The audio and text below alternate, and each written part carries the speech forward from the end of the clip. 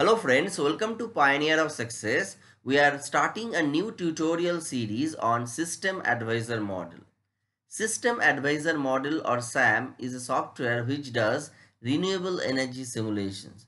As all of you know, renewable energies are the need of the hour. So this particular software and this simulation is gaining frequent attention from the research community. We'll develop an entire tutorial series where we talk about the fundamentals of the SAM software, what are the possibilities with this software and how exactly a research problem or an entrepreneurial innovation problem can be tackled using this software. I hope this tutorial series will help you so kindly bear with us and all of you know that we frequently upload simulations on COMSOL Multiphysics. So along with COMSOL Multiphysics, we are adding a new software which is System Advisor Model. If you want to collaborate with any of the softwares, then do write to us in the email ID given in the description box and I would be happy to approach you. So without further delay, let us initiate the simulation or tutorial with system advisor module. So we can see this is the front page of the simulation software and NREL is written here. Why it is so? Because this software is developed by NREL that is National Renewable Energy Laboratory, a well-known research laboratory who does work in renewable sector. So we'll initially show uh, how exactly you download this software. So if you go to Google and search NREL SAM, then you'll reach to this particular website. So this is the official website of National Renewable Energy Laboratory and here you see one option download and if you go there you will be able to see different versions of SAM software. So they frequently update their software and that's why new model new module new executable files come. And here you see the latest version. So you have to download this executable file and you have to install it. As you can see this software is already installed in my system. So i'll not go ahead with the installation but i just look for this software. I open it here so the software is being opened. You can see here. So initially this page will come and in this page what we can see as like other softwares there is one option to start a project. You can see a welcome note here. In this welcome note section they basically advertise or give notices for different webinars which they frequently do you can even attend their webinars because i actually learned the software by watching those webinars or attending those webinars. So i also encourage you to look at this particular welcome note and attend few of the webinars. It will help you.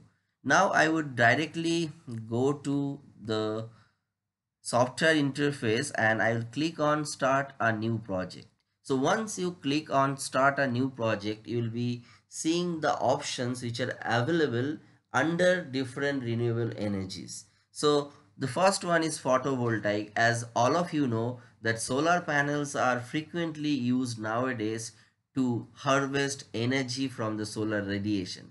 So what we have inside a solar panel is nothing but photovoltaic cells. So photovoltaic cells absorb the solar radiation and converts into electrical energy. And this is an electrochemical technique.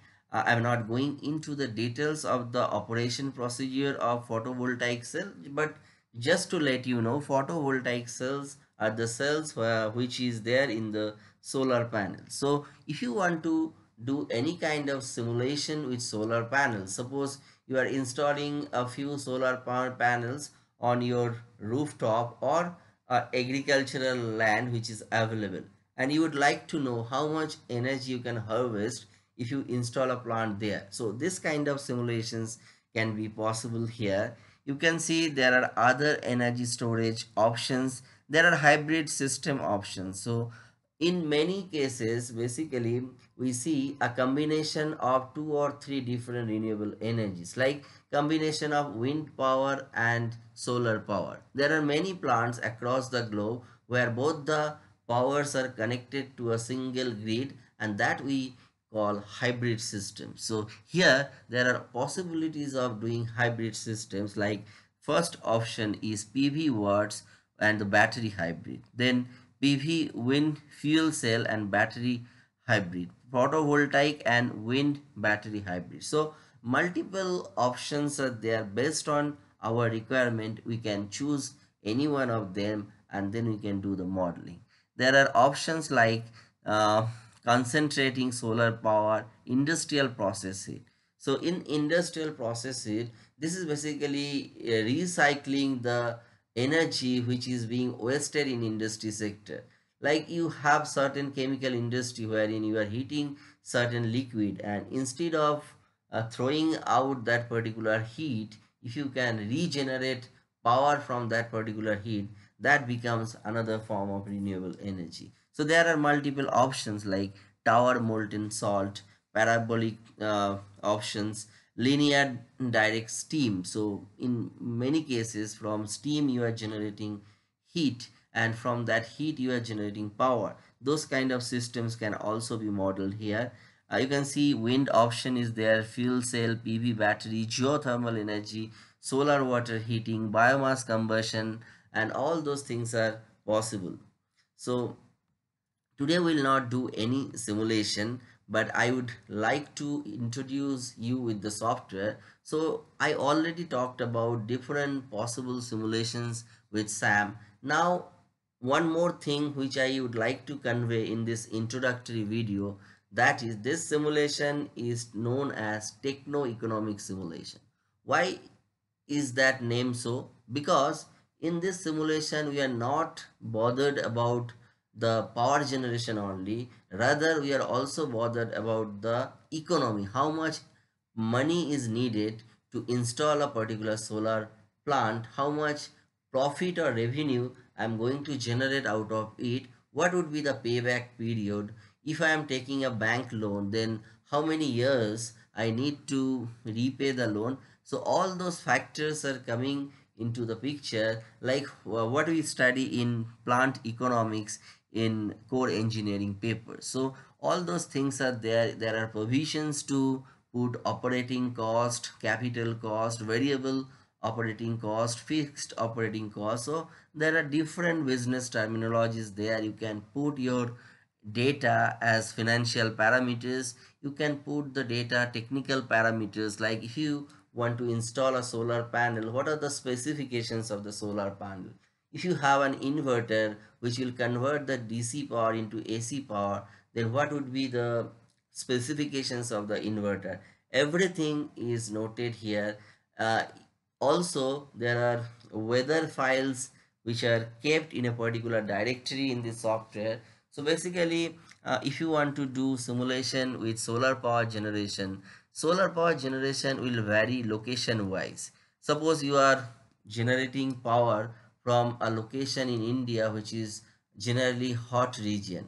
And you are also generating power from a country where say six month is under snowfall. So obviously these two locations will be different in terms of solar radiation and obviously it will generate different kind of power. So all those cases can be resolved here with the software. So we'll uh, we will continue with specific examples with the upcoming videos. I hope this introduction would help you to realize the uh, the whereabouts of the software and we'll continue. Thank you uh, very much